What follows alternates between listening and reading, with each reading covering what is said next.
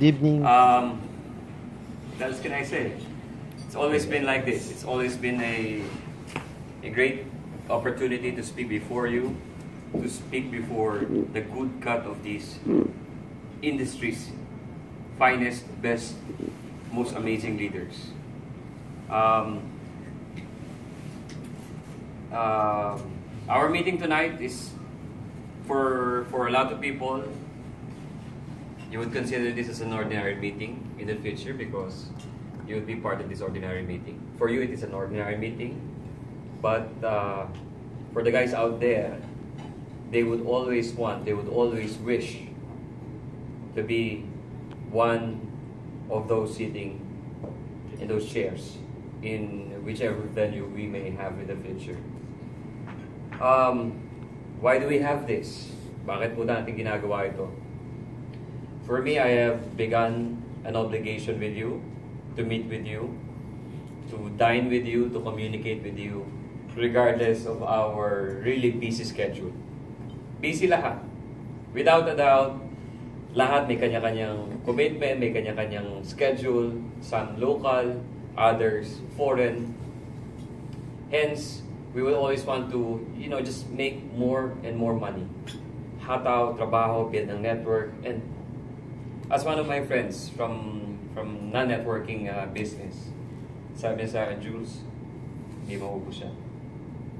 I'm not saying this to you guys so you will think that you can just simply relax. And when you find it more convenient for you to work or to go outside and do enroll, tsaka nyo lang gagawin. He meant to me by saying it as take a break. Not all the times that you know you wish to, to work and aspire to get it sooner or quicker, you would want you would have them right away. Minsan kailangan mo magpahinga, minsan kailangan mong mag uh, unwind ng konti so that when you're gathered together with this kind of group, with this amazing group, it uh, meetings like this refreshes everyone. Uh, sa mga nagsalita, I'm really I'm I'm really flattered. I'm really honored to have you in my company. Nakakatawa dahil um, sa mga top leaders, given na yan. Pero totoo yun, sinabi ni Mark, uh, sila JR, and of course, si Rochelle, lahat, everyone. Those who didn't make it in the past, and when you see them today, making more, it gives you this idea that every single decisions that we made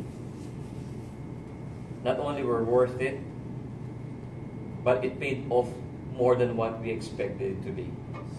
Quicker, bigger, and much louder this time. And it's it's kind of amazing because mas maraming tao ngayon na hindi lang centralized doon sa nasa taas. Hindi lang yung mga sanauna. Even those na nagsimula uh, not even during those uh, earlier days or during those inception days, kasama natin, who join us months later, they start, you know, re- really making good amount of money. And of course, kapag yung tao kumikita, they will really definitely stay. They will be really loyal to your company. And for me, what else can I, you know, can I expect? Sinasabi ko lang palagi, as everyone makes a lot of money, as everyone grows to become a better and a seasoned businessman, seasoned professional network marketer, I always pray, I always wish and pray that you know you're always safe in your endeavors, that uh, you put yourself on top of your priorities, your safety, yung yung health ninyo, and yung kapakanan ninyo. Because sometimes we feel like we're invincible. Kala natin superhero tayo. Walang tulog or kulang ang tulog. Kung hindi nalilipasan sa gutom, kapos sa pagkain, dahil napapabayaan na lahat, okay lang yan. I can eat later because I have clients to deal with. Pause for a while. At the end of it, mas importante ka. Sa ganda ng produkto natin, sa ganda ng sistema natin, clients will always be out there queuing in line just to meet all of you. But ikaw, if something happens to you, if your health, your mind, your entire self is not well, mahirapan ka. And uh, you know what? Wala pa tayong one year and if we have these kind of things going on for us, your income going on for you for, for like less than a year, sabi nga na iba, yung income sa previous companies or previous endeavors, ngayon halos matatapatan na, yung iba nalagpasan na. And try to imagine if we would be in this business for 2, 3, 4, 5 years. So 5 years down the road, iniisip nyo na ngayon siguro gaano kaya kalayo yun. And perhaps, the farthest thing, the farthest idea you could ever think of, a year later, would still be changed. Because yung iniisip mo that could happen to you in 5 years, baka in 1 year time mangyari ulit sa inyo. Thus, as your chairman, as your president, palagi namin iniisip sa management to give you the sound advices how to protect yourselves, to protect your business, to protect your interest. Nakakatawa sa social media, when you post something, a lot of people copy it. Companies copy it, leaders from other companies copy it. Copy not my post, but they do the same. They will render their own versions. Tama? Yes. When I started posting myself, uh, photograph, yung angle kong medyo ganito, ganyan. Siyempre, ayusin ni Miss Joy. Yeah, ayusin niya, magandang shot, tapos may caption na ganito, ganyan. You know, those captions are not uh, from from authors or from other people. They're from my own uh, thinking, ideas mo yun, from your own inspiration, then you put it there. Then other companies started doing the same. Fine. Uh, I, I made fun of June, created June, and then be like June. Others tried, you know, they also did the same. Kopyahan na naman. Uh, we tried creating events or gatherings, post happy moments with leaders, copy rin other companies.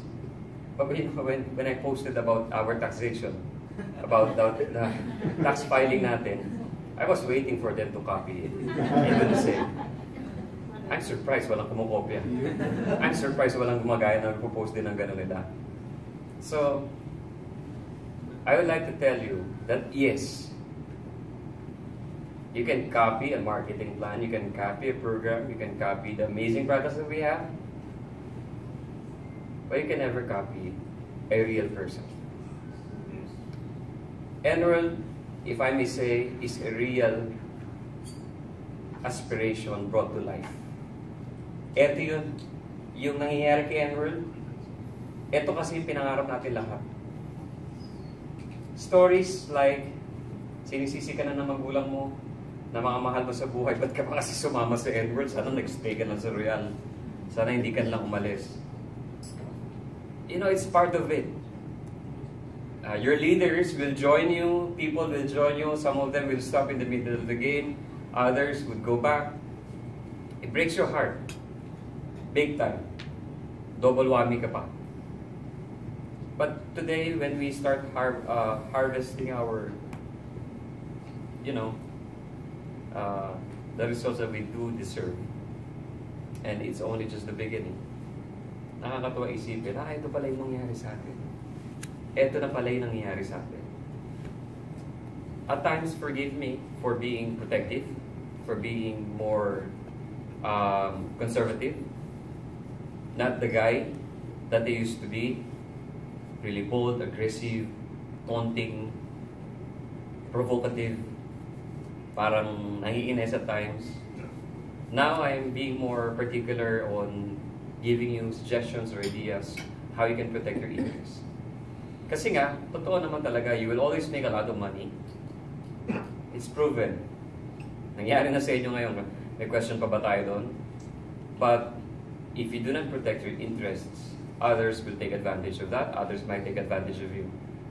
And um, if, say, years down the road, you're able to protect your, your, your brand, yourself, your business, then there's much room for growth for everyone. When we talk about growth, we're not only talking about making more money. We're not only talking about having bigger, wider, deeper network, local or international. As we speak, your distributors, local or, or foreign distributors, are doing their own fair share of team. They sell, they inspire, they recruit, they motivate, they manage. They do their own tasks to grow their businesses. While you're here listening to me. It's not going to be something that, I mean, it's not like your business will stop if you stop. Magtutuloy-tuloy yan. Right now, we have a huge challenge ahead of us. Challenges such as those things that would require constitutional knowledges, uh, laws of the land, you be more careful because you're not only an icon this time, you are a person of distinction, kilala ka sa industriya, kilala ka sa Enworld, and whatever you say, whatever you do, not only reflects who you are, but reflects the kind of environment, the kind of company that you belong with. Thus, as we keep doing our business, day by day, we set ourselves far apart existing companies. Hindi sila makapaniwala, hindi nila maunawaan that how can this particularly startup company and by the way, doon sa nagsabing tayo pioneering, yes, we are still a pioneering company. For those illogical networkers who think pioneering is not when when when you are a startup company, you are in a pioneering stage. So long as you're a startup company, that goes to traditionally up to five years, by the way. Entities, five years na nag, nagsisimula, nagne-negosyo, startup yan. Startup yan. So, let me tell you this. A lot of people challenge what we do. A lot of people doubt what we or how we do it, how you do it, how you make things happen. But we are here not only to prove them wrong, but we are here to do what we love to do. That is, being who we are and extending, doing whatever right it takes to the core values of how you do MLM each day, each single moment of your lives. For us, it has become a way of life. Hindi na pasikat, hindi na pagpapanggap. I have to do this because I so I have something that I can post to social media. So I can show the entire world that I'm I'm good. I'm good like that. You're doing it because that's how everything and everyone is doing it. Everything is being done in this company and everyone's doing it in this company. You're not just doing it because it's the most effective one. You're doing it because it's the legitimate one. It's the right one. If you will if you will just know the kind of dealings I am undergoing or I'm, I'm undertaking right now, you will be amazed. How a startup company continues to, um, to surprise, to, to impress a lot of giant corporations and you know established entities. And uh, when I, whenever I speak to them, I keep telling them, it's me and my team. When I say about me and my team, it's me and those people who joined me that day when we had to do this uh, this particular thing. Hindi ko matawag na transition, hindi ko matawag kung which uh, hindi ko hindi ko maintindihan eh kung ano ba ang itatawag ko doon. Others call it transition. For me, it's it's a revelation. For me, it's just another opportunity that I need to seize. For others, it's a matter of life or death decision. Wala makain, wala mapambayad. It's not the same for everyone. For others, it is the moment that they have been waiting for. Because this time I can change. I can choose my upline. I never wanted an upline who acts like a boss. I never wanted an upline who acts like a disciple who's always all righteous. Iba-iba po. For others, it was a bad news. For some, it was a good news. It was a great news indeed for others. But as your president, let me tell you this. Whatever happened to us, I don't know when or I don't know how soon or until when we would be talking about it. There's nothing wrong about it, by the way. It's a memory that we would cherish or we would always talk about, make fun of it, laugh about it, cry at times about it, frown, or disgust the bad experiences. But in the end, today, we're able to afford to gather all together every month and have this distinction, this moment, that we can afford to meet with our top leaders. Because we just need to meet with them. Not because there's an issue, not because there's a problem, not because there's a good news, but because it is a practice that will eventually become a culture, a heritage, something that forms part of your well-being. If you do not become part of this one, you will miss it. So you will work very hard so the following month, makasama ako ulit. If not, if others are performing better than me on the following two more months, makasama ako ulit.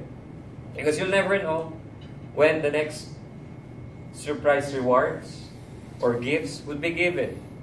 Because wala incentive. I mean, being part of the top 50 doesn't guarantee you an incentive. But surely, after the Balisay trip, everyone is assuming or anticipating that it's good to be part of that because we'll never know what's coming next. Yes. Could be somewhere else. Could be another local trip. Could be perhaps an international trip. Yes.